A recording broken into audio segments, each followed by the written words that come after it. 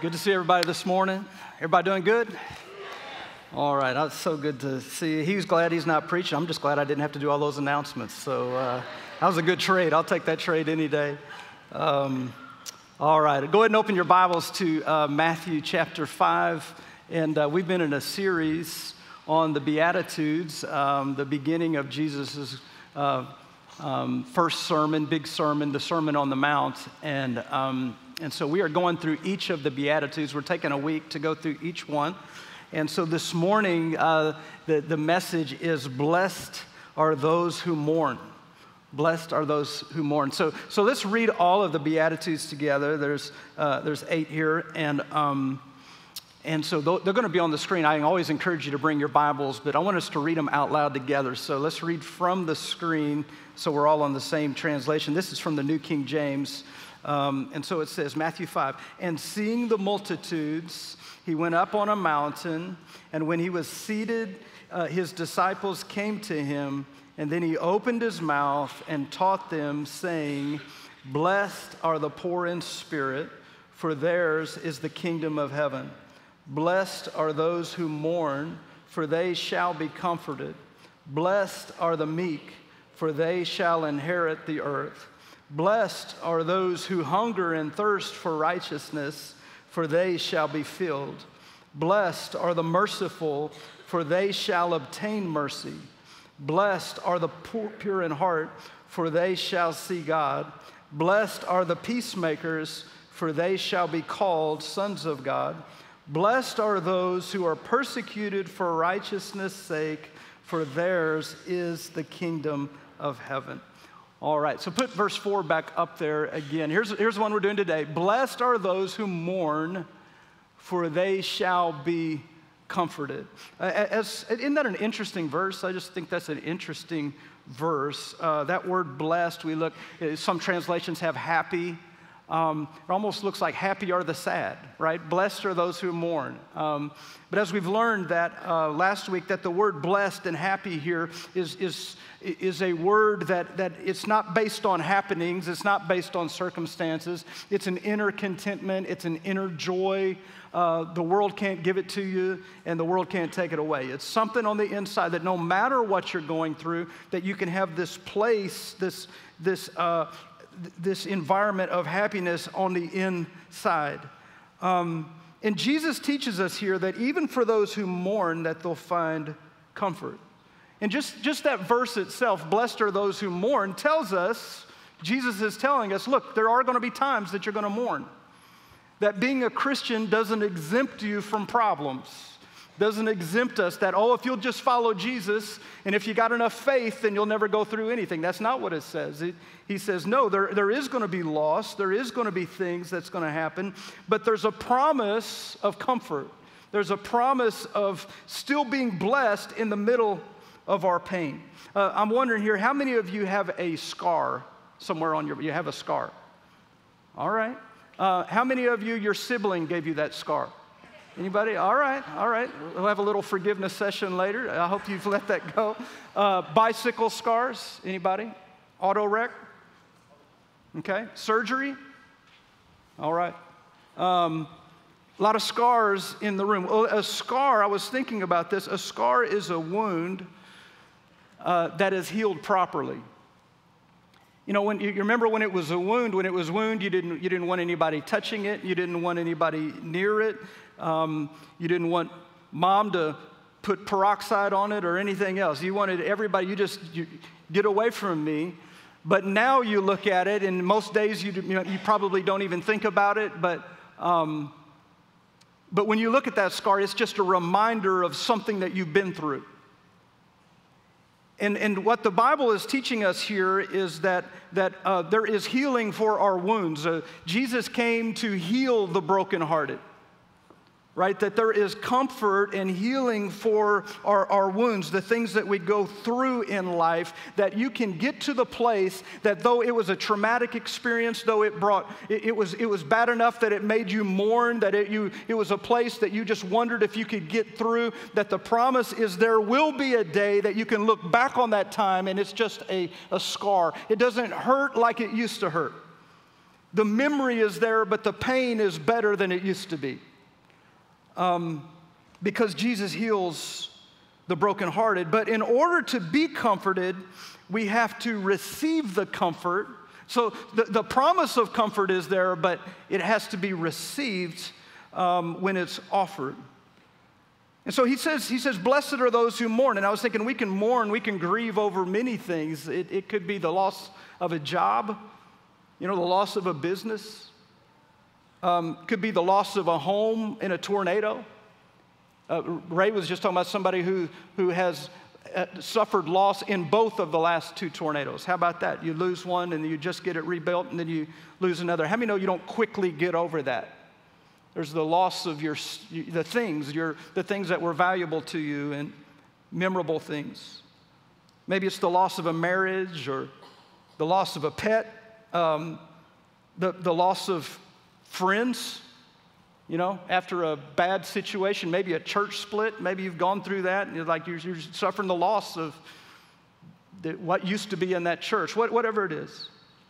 Um, maybe you're mourning from pain that or hurt that was caused to you by someone who was close to you, and you're still trying to get over that.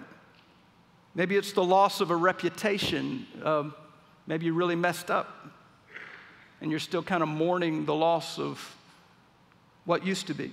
I, I, think one of the hardest things to recover from, and it's the one that I want to focus on this morning, is the loss of a loved one. Because it's one, that's one, the loss of a loved one will affect every single one of us in this room.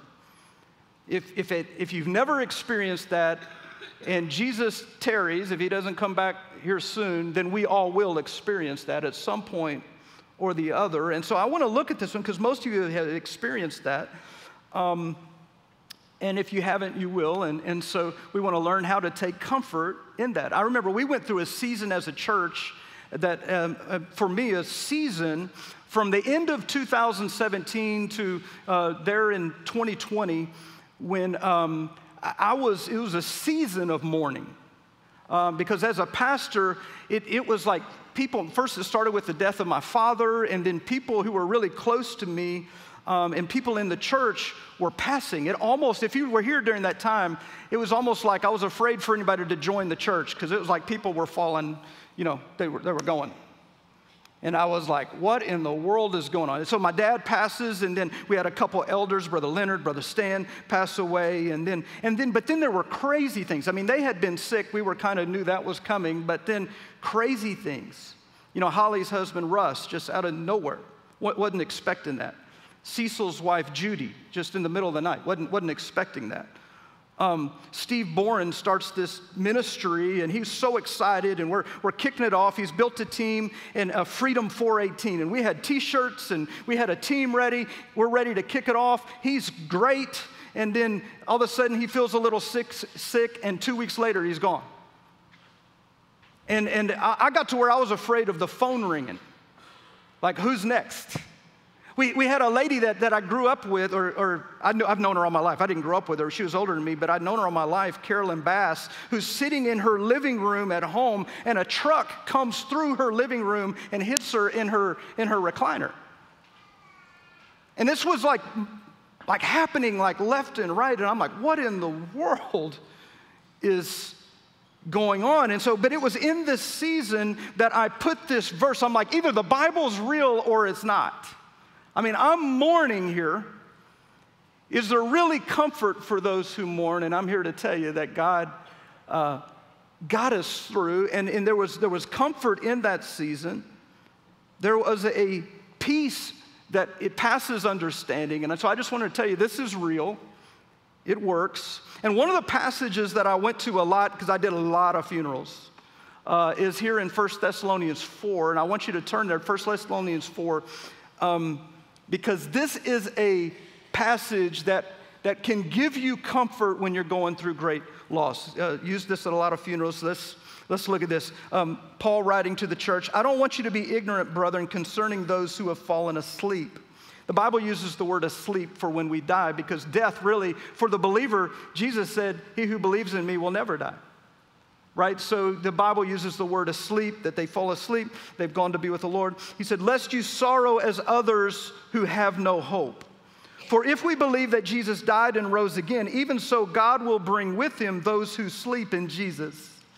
For this we say to you by the word of the Lord that we who are alive and remain until the coming of the Lord will by no means precede those who are asleep. For the Lord himself will descend from heaven with a shout and with the voice of an arch- archangel and with the trumpet of God, and the dead in Christ will rise first.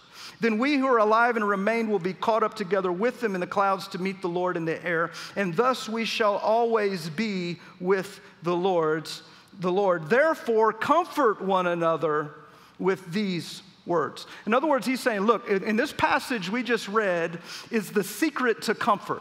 It's, it's where you're going to find the comfort that Jesus promised for those who mourn. It's right here in this passage. And so I want us to learn, take just a few minutes. Let's learn how to take comfort and find comfort in our mourning. Are you all ready? N- number one, write this down. Find comfort in the hope of heaven. It, when, you're, when you lose a loved one, and, and, and that's, that term itself isn't a good term, but when, when a loved one passes, um, it's normal for us to sorrow, but not as those who have no hope, because there's a heaven. Look at what he says in 1 Thessalonians 4 uh, 13. He says, I, I, I want to talk to you about those who've fallen asleep, about those who've gone on to be with the Lord. He, he said, I want to talk to you about that, lest you sorrow as others who have no hope. have, have you ever been to a funeral of a family and you could tell that nobody in the family knew the Lord? It is the most depressing thing. I've done, I've done a lot of funerals, um, and, and I've been to funerals of Christians, and it was kind of a celebration of life, and it hurt, but it was, but there was some, there was some joy in the midst of it. We'd even, uh, so I've been to some funerals where we worshiped and we praised and we did those things. Then other times I get called because I'm a pastor and I might know somebody or a distant relative, and they say, Hey, will you do this funeral? And the person doesn't know the Lord. Nobody in the family knows the Lord. I, I remember one situation, I'm, I'm, I'm, asked to do a funeral, it's actually a distant relative, and, and I'm there, and, um, and it was just, there was no hope in the room at all. And, and I remember the, the mom, and she was a short statured lady, and, and the, the, the, coffin is there, and her loved one is there in the coffin. And, and as she's trying to, she's just trying to get it, she almost knocks the coffin off the, the platform, and it's shaking, and we all run to it. And then and it's just, it's just sad. It's like, can't let go.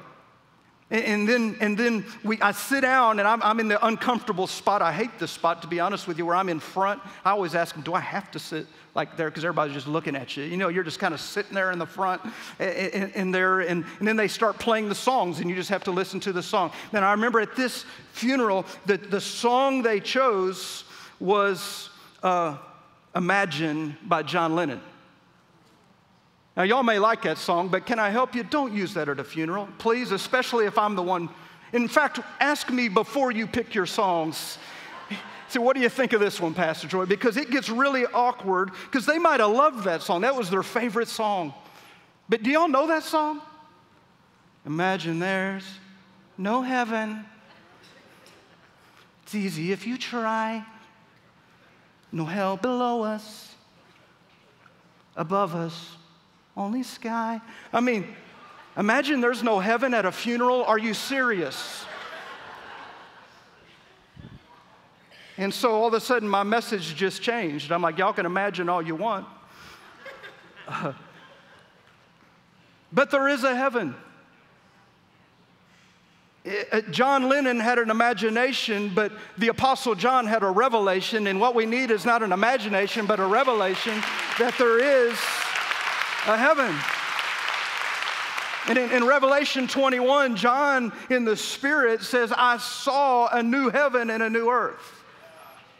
For the first heaven and the first earth had passed away. Also, there was no more sea. And then I, John, saw the holy city, New Jerusalem, coming down out of heaven from God, prepared as a bride adorned for her husband. And I heard a loud voice from heaven saying, Behold, the tabernacle of God is with men, and he will dwell with them. Come on, look at this promise. And they shall be his people. God himself will be with them and be their God. And God will wipe away every tear from their eyes eyes, and there shall be no more death, no sorrow, nor crying. There shall be no more pain, for the former things have passed away. Then he who sat on the throne said, Behold, I make all things new. And he said to me, Write, for these words are true and thankful. Come on, how many of you are thankful for a heaven, that there's a heaven? And, and so when you believe this, this, the truth of God's word, that there is a heaven, and what, what Paul says here in Thessalonians, that when our loved ones pass, he says that they're with the Lord. So when your loved one passes, you can take comfort if they're a believer in knowing that they're with the Lord. Look at what he says in 1 Thessalonians 4, verse 14. For if we believe that Jesus died and rose again, even so God will bring what? with him those who sleep in Jesus. Well, if God's going to bring them with him, where are they? This, this isn't hard. All right, let's, let's try this again. If God's going to bring them with him, then where are they? They're with him. Right? It, it's, in fact, again, the word, I, I, lost a loved one. We say that term, I use that term, we, we lost them. Listen, it's not a great term because they're not lost. Come on, I didn't lose my father. I know exactly where he is, right? He's with the Lord. The, the, Bible says this in 2 Corinthians 5. He says, We're always confident knowing that while we're at home in the body, we're absent from the Lord. In other words, we have the Lord in our hearts, but not, not like it's going to be in heaven where He's wiping away tears and He's in the flesh, you know, we're there seeing Him face to face. He says, now we walk by faith, not by sight. Um, but we're confident. I'm confident of this thing. Yes, well pleased rather to be absent from the body and to be present with the Lord. In other words, what he's saying is that when you take your last breath on earth, you're taking your first breath in heaven. That there's no, no middle ground. It's, it's when, that, when that breath leaves, if you've ever been with somebody when they pass over, you know when they pass over. In fact, I don't even think sleeping is a good verse. I mean, it's in the Bible, so I guess it's good. But, but it, you, you know as soon as you see them, they're not asleep. Their spirit has left. They have gone to be with the Lord.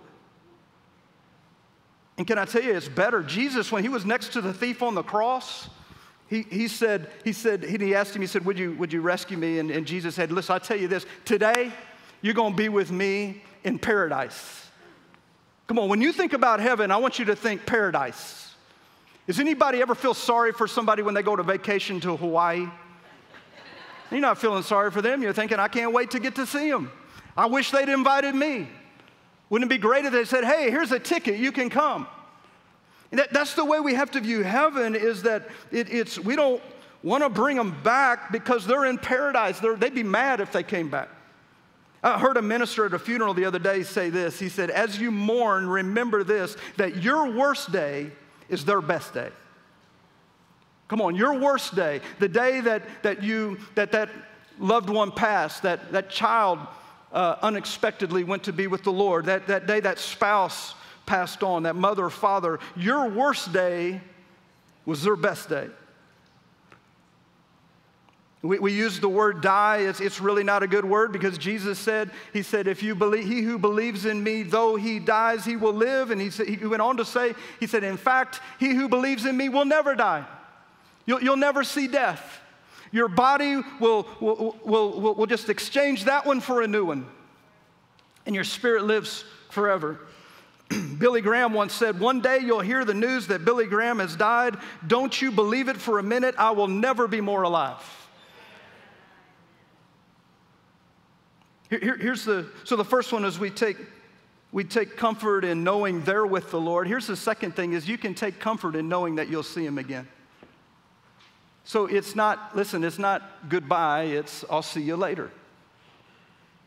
Notice what he says in verse 15, 1 Thessalonians 4:15. For this we say to you by the word of the Lord, that we who are alive and remain until the coming of the Lord will not precede those who are asleep, those who've already gone to be with the Lord. For the Lord himself will descend from heaven with a shout, with the voice of an archangel and the trumpet of God, and the dead in Christ will rise first. In other words, they're already with the Lord, but their bodies, they're going to get new bodies.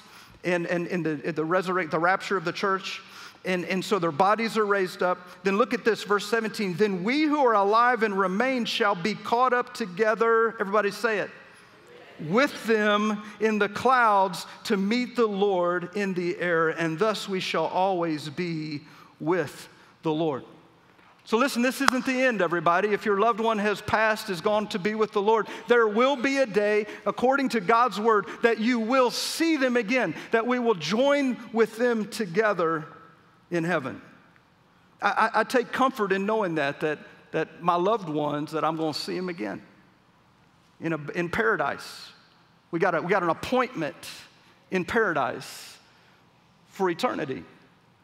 Bob Russell, who's coming in a few weeks, he, he, he tells the story of a 90 year old man. When he, was, when he was a younger preacher, Bob's, Pastor Bob's 80 now, but when he was a younger man, he tells the story about a man who was in a men's Bible study and he was 90 years old.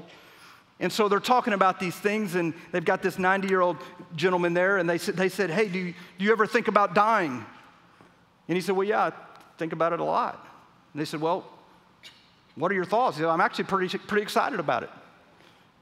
And they were kind of like, Really? He's like, Oh, yeah. And they were like, Well, tell us more. And he said, Well, I, number one, I get a new body. I've wore this one out. Right? I'm kind of excited about that. I'm ready for a new body. He said, I, I, am looking forward. I think he said, I'm looking forward to seeing my wife. He said, and not only that, but nothing against you guys, but all my really close friends, they've been up there a long time. He said, In fact, if I don't hurry up, they're going to think I didn't make it. Right? It's going, you know, so it's like there's, we're going to get to see him again.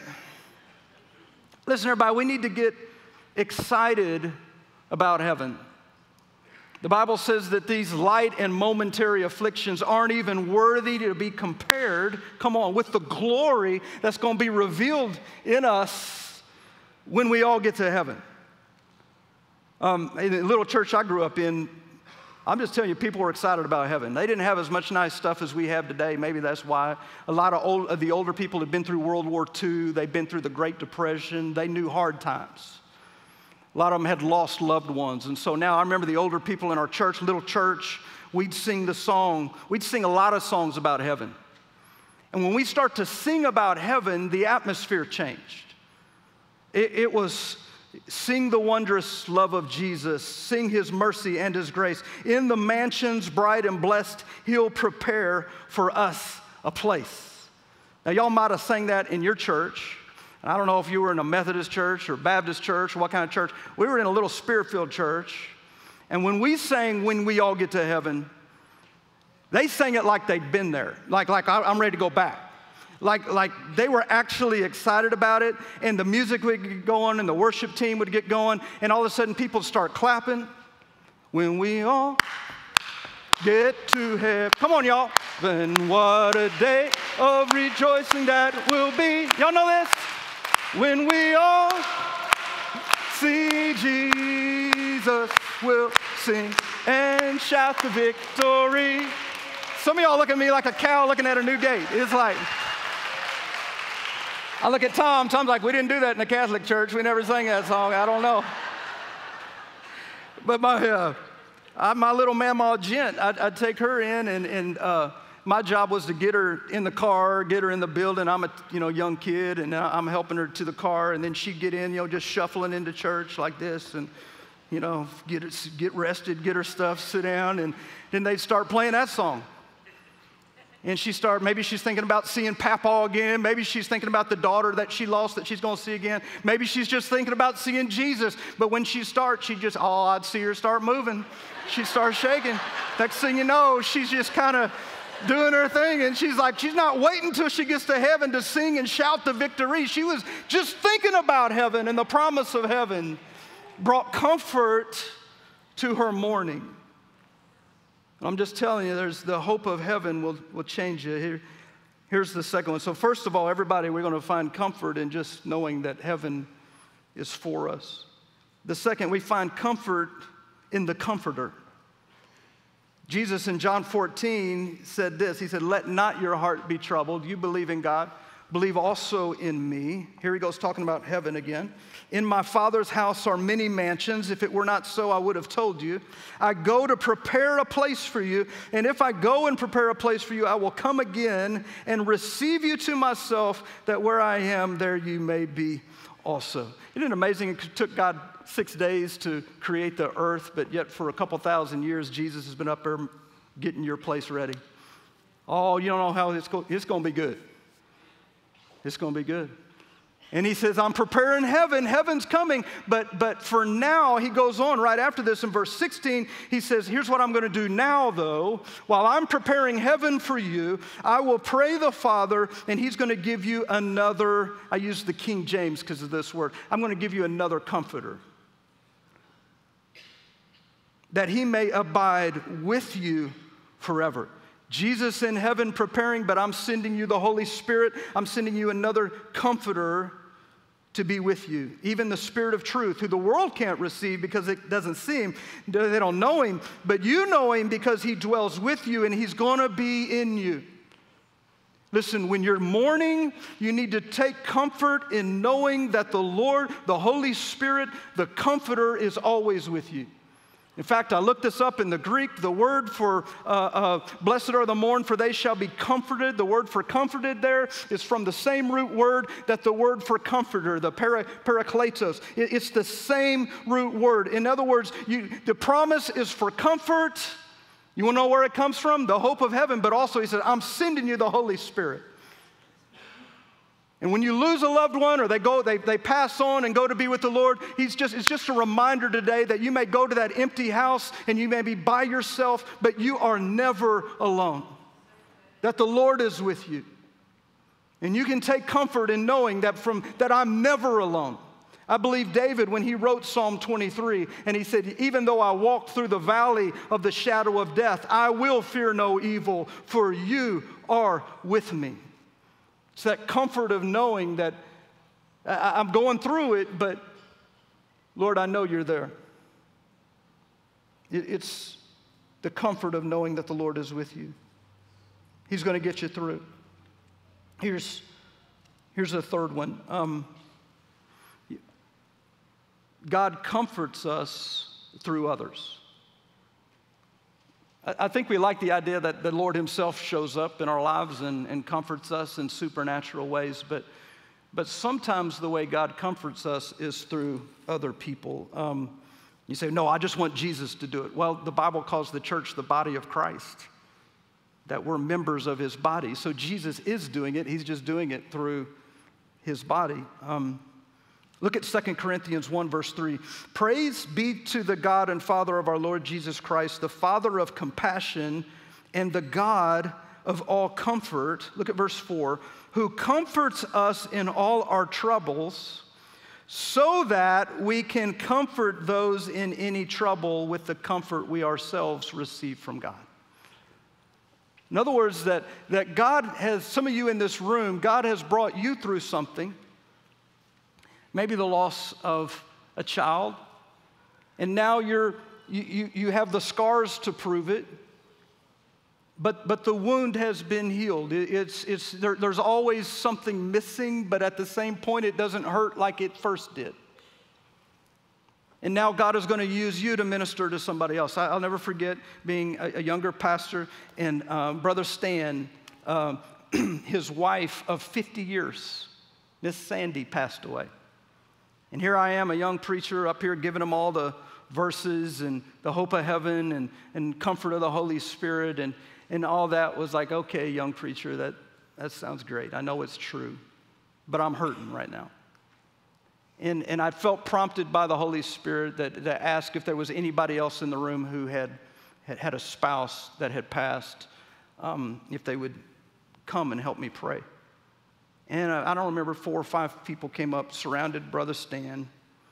And here I am standing in front of him, and I just kind of stood back and let them pray. And can I tell you, their prayer was way better than my sermon. Because what they were giving him is they were comforting him and letting him know look we've been through what you're in right now and we're just here to tell you you will get through. The lord will come he comforted us and he's going to comfort you. This is your this is your worst day. It's her best day but you're not going to be here forever. There is comfort for those who mourn and a lot of times it comes through god's people. And if you've been through something listen don't God never is going to waste your pain. There's, there's a ministry of scars.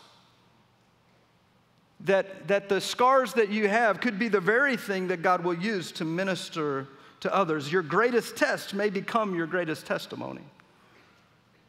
And, and, so this morning we're comforted by the hope of heaven, we're comforted by the comfort of the Comforter, we're, we're comforted by others who've been through what we've been through. I, I want to close with a, with a story of, um, of David, David the giant slayer, David the king. Um, and it's really in his darkest moment. You know, a lot of times we got VBS coming, we sell, you know, we, we use David and Goliath and just, you know, David's kind of a hero.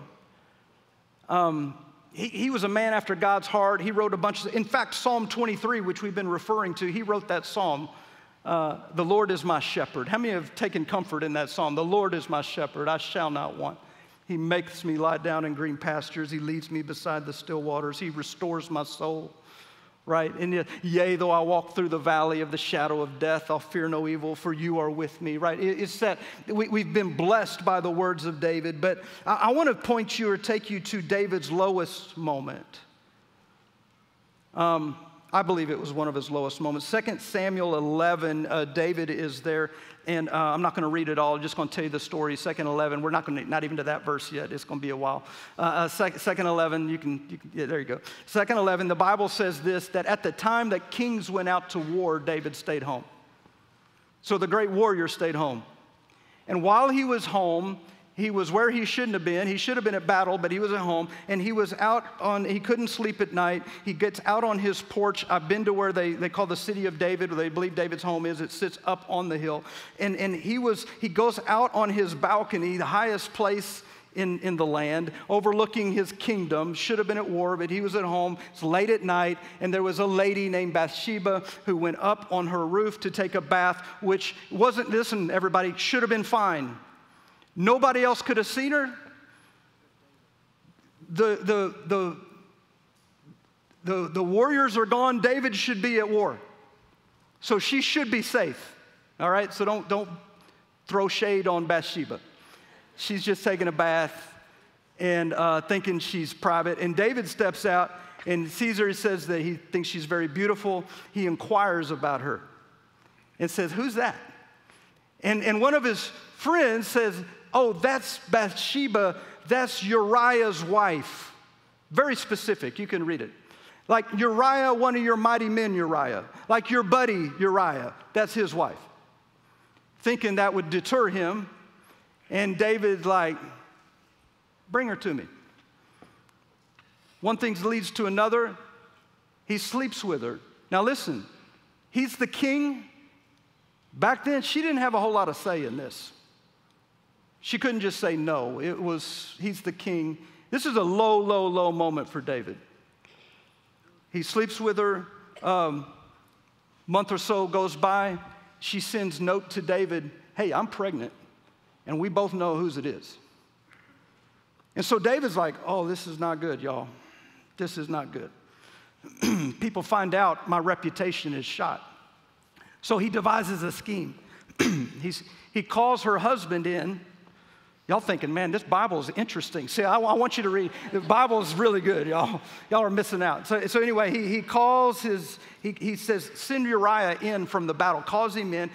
Uriah shows up, and, and David says, hey, hey, buddy, um, man, I, I'm so proud of you. You've been working so hard. I, I just wanted to give you kind of a little uh, a furlough here, just, just a weekend off, and go home and enjoy your wife. And Uriah's like, I can't do that. We're at war, man. I can't enjoy my wife, or we're at war. And David's thinking, well, I did, you know. So anyway, but that's a terrible. That's terrible. In anyway, so awful.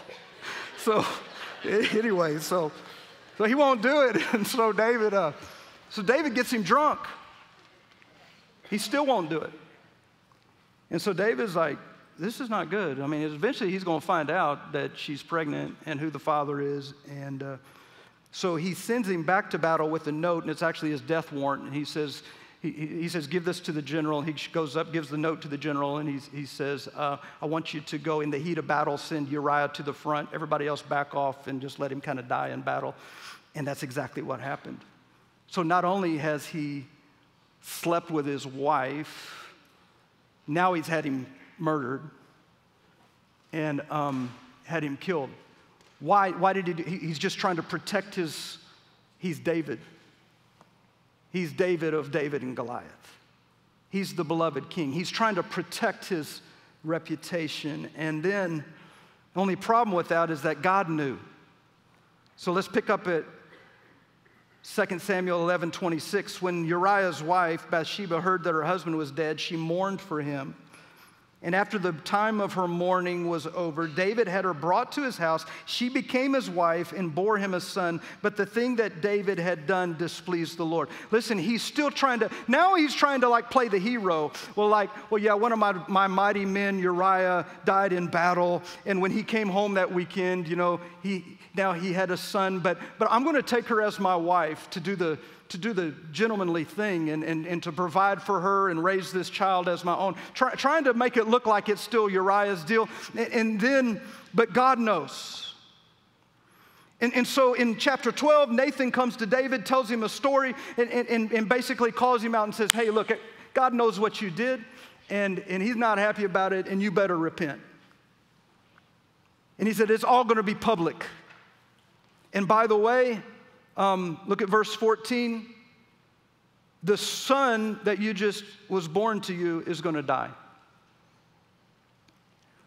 And so after that, verse 15, after Nathan had gone home, the Lord struck the child of Uriah's wife uh, that Uriah's wife had born to David, and he became ill. And David pleaded with God for the child. He fasted and spent the nights lying in sackcloth on the ground. The elders of his household stood by him to get him up from the ground, but he refused, and he would not eat any food with them. And on the seventh day, the child died. And David's attendants were afraid to tell him that the child was dead, for he thought, while the child was still living, he wouldn't listen to us when we spoke to him. How can we now tell him that the child is dead? He may do something something desperate. And David noticed that his attendants were whispering among themselves, and he realized that the child was dead. Is the child dead? He asked. Yes, they replied. He is dead.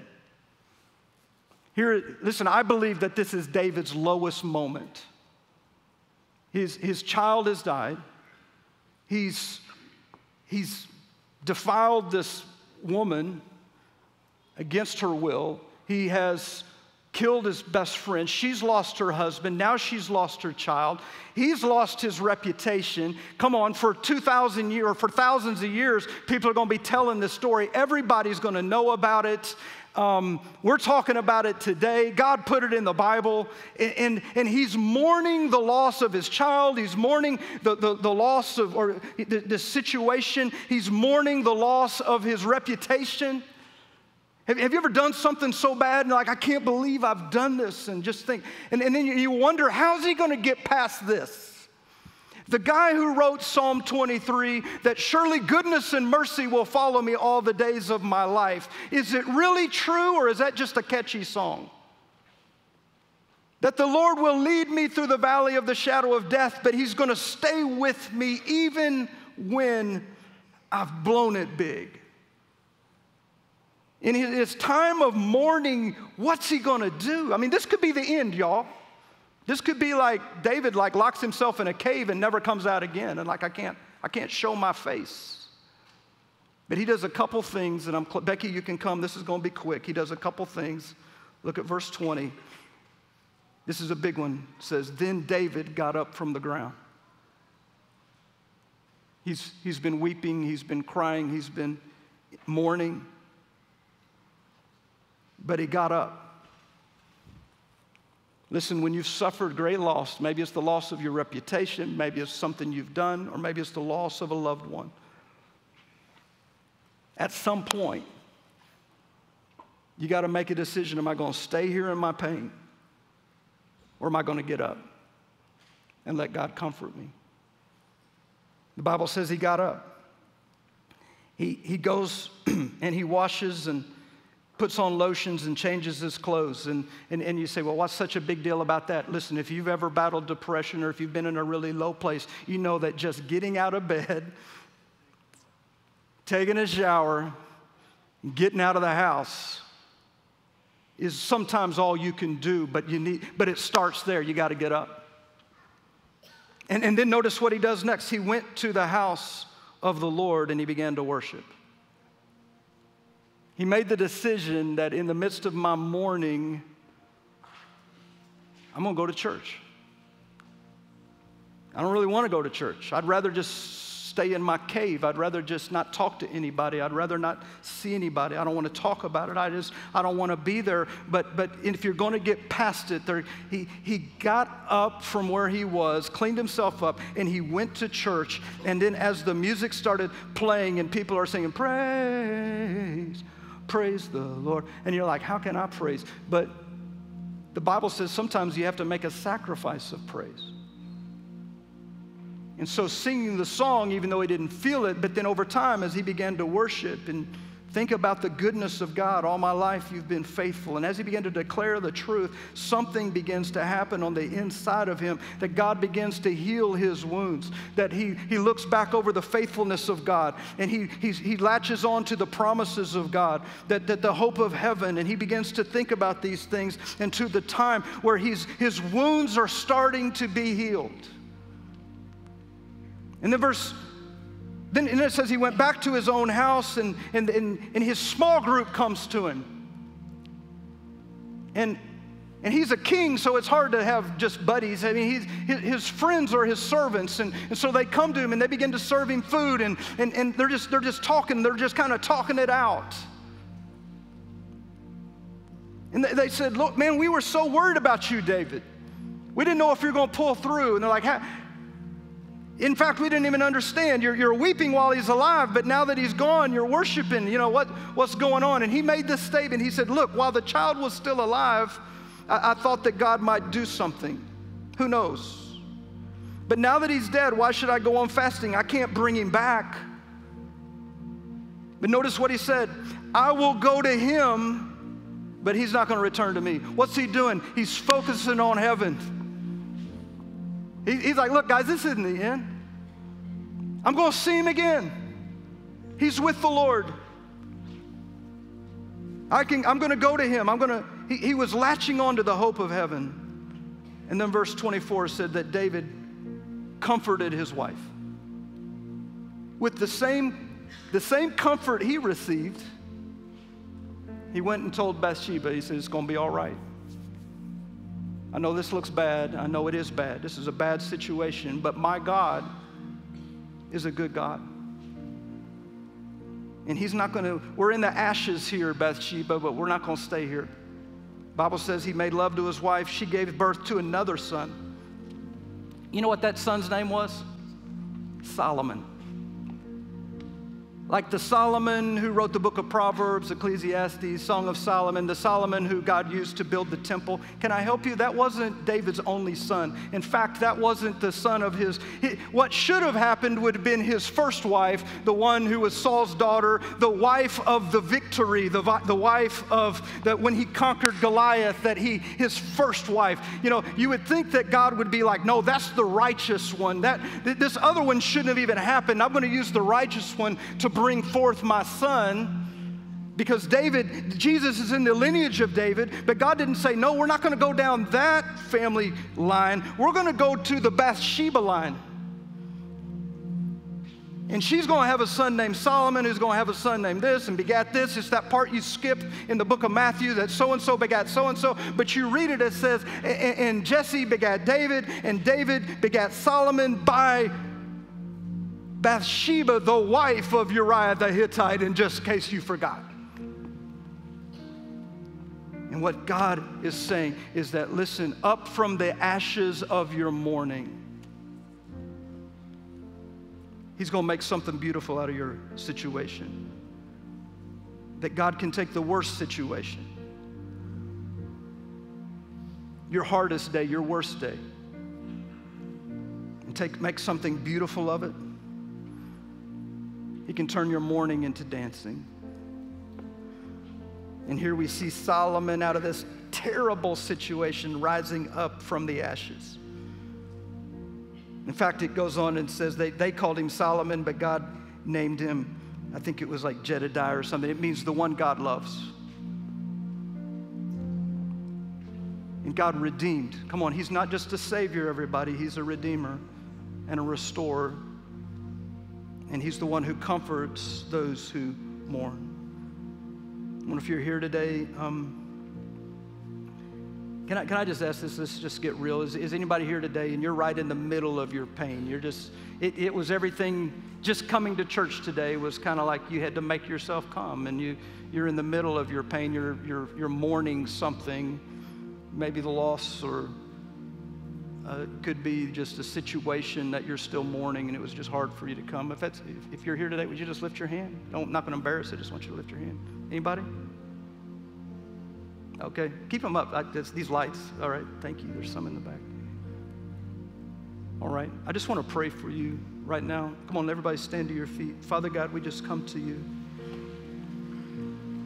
Lord, your promise today was for those who mourn that they would be comforted. And, and God, I pray today that by your Spirit, you would comfort them. God, that they would find comfort in others, that Lord, they would realize that you haven't left them, you're always with them, that they'd find comfort in the hope of heaven and knowing that this is just temporary. This world isn't our home. God, I pray that as a church, we can, we can be the church that loves people through it helps them in their time of mourning.